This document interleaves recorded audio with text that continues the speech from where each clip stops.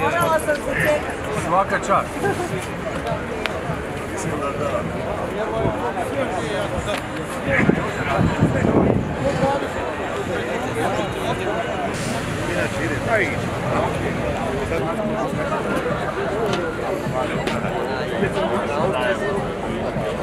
Jedno barem da pokažem kako to.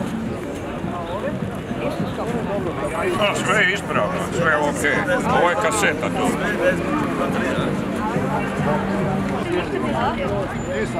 Ovako vam to radi. Ovo je osigurač. Ovo je kočnica. Ovo, bez ovoga dok se ovo ne izvuče, dok se ovo ne izvuče van ne možete. Kad to izvučete van onda napinjete, pokrećete film. Ma dobro, Ra- va- vatate fokus. Objekt koji ćete snimati. Daljinu.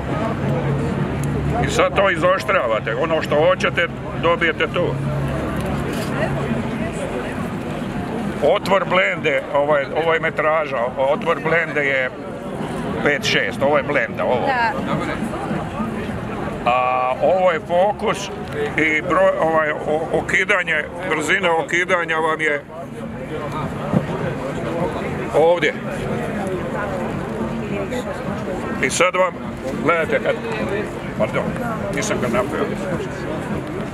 To sam pogriješio. A, jesam napravio. Evo. to je za posle. Ali može i posle, ako čovjek ima.